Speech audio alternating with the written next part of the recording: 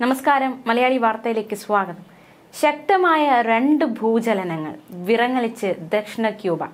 ദക്ഷിണ ക്യൂബയിൽ തുടരെ തുടരെയുണ്ടായ രണ്ട് ഭൂചലനങ്ങളിൽ വൻ നാശനഷ്ടമാണ് ഉണ്ടായിരിക്കുന്നത്. ആറ് ദശാംശം എട്ട് തീവ്രതയിൽ രേഖപ്പെടുത്തിയ ഒരു ഭൂചലനവും അഞ്ച് ദശാംശം ഒൻപത് തീവ്രത രേഖപ്പെടുത്തിയ മറ്റൊരു ഭൂചലനവുമാണ് ഉണ്ടായിരിക്കുന്നത്. തെക്കൻ ഗ്രാൻമ പ്രവിശ്യയിലെ ബാർട്ടലോം മാസോ തീരത്ത് നിന്ന് ഏകദേശം ഇരുപത്തിയഞ്ച് മൈൽ അകലെയാണ് ഭൂചലനം.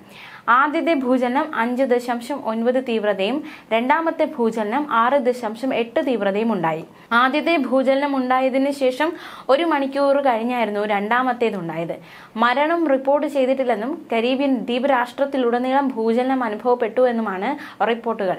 നിരവധി പേർക്ക് ഭൂചലനത്തിൽ പരിക്കേറ്റു. ഭൂകമ്പത്തിന്റെ ആഘാതത്തിൽ വലിയ തോതിൽ മണ്ണിടിച്ചിലുണ്ടായി.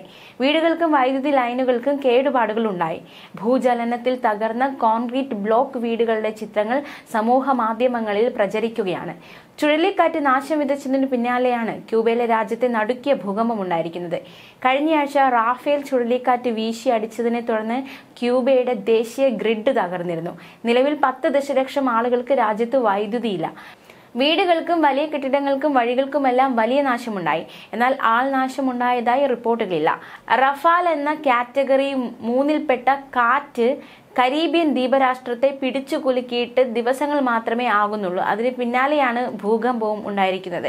ക്യൂബയിലെ വലിയ നഗരങ്ങളായ Santiago de Cuba Holguin Guantanamo തുടങ്ങിയ നഗരങ്ങളിലെ ജനങ്ങൾ ഭൂചലനത്തിൽ വിറങ്ങലിച്ചു. പലരും സുരക്ഷാ സ്ഥാനം നോക്കി വീടുകളിൽ നിന്നും ഇറങ്ങിയോടി.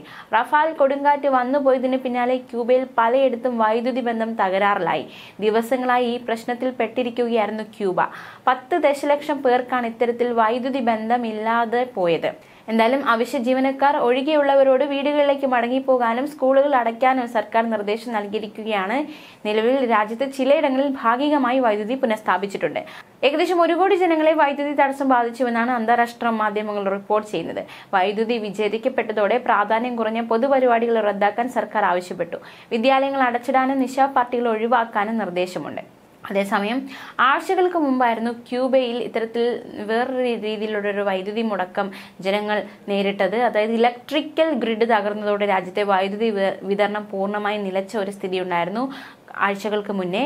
ആദ്യം ഗ്രിഡ് തകർന്നതിന് ശേഷം നന്നാക്കിയതിന് തൊട്ടു പിന്നാലെയായിരുന്നു രണ്ടാമതും തകർന്നത്.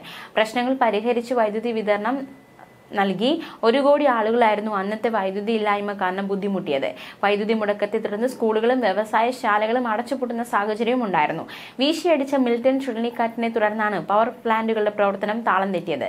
വെനസ്വേല റഷ്യ മെക്സിക്കോ എന്നിവ ക്യൂബയിലേക്കുള്ള ഇന്ധന കയറ്റുമതി കുറച്ചതിനാൽ കടുത്ത പ്രതിസന്ധിയും രാജ്യം നേരിടുന്നുണ്ട്. വെനസ്വേല ഈ വർഷം ക്യൂബയിലേക്കുള്ള സബ്സിഡി ഇന്ധനത്തിന്റെ പകുതിയോളം വെട്ടിക്കുറച്ചതുകൊണ്ട് രാജ്യത്ത് വിലക്കയറ്റം ഉണ്ടാകുന്ന സാഹചര്യവും ഉണ്ടായിട്ടുണ്ട്. ന്യൂസ് ഡെസ്ക് മലയാളി വാർത്ത.